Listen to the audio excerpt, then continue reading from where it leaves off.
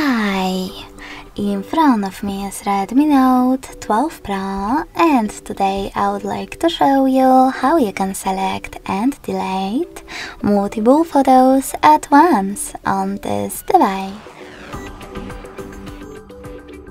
First of all, you need to open Gallery app and tap on one of your folders or go into Photos and simply hold one of them that you wish to get rid of, like this one. Now you can click on all of them separately or just click on select all at the top right corner.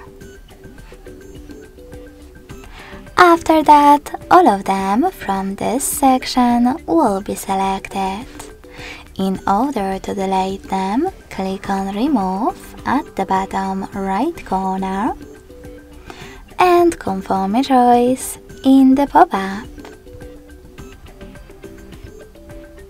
Thanks so much for watching. If you enjoyed this video, smash that like button, comment and subscribe. Bye!